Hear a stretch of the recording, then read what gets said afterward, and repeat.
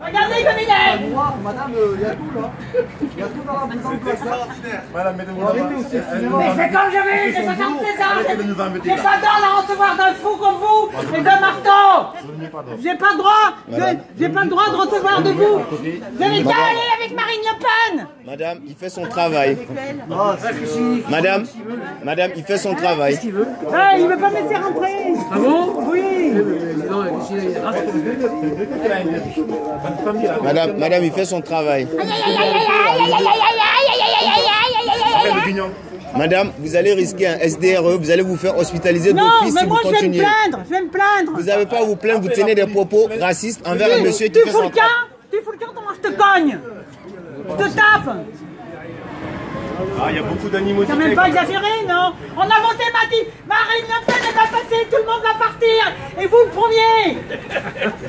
Le Madame, ma- personne ne partira parce qu'on est tous français.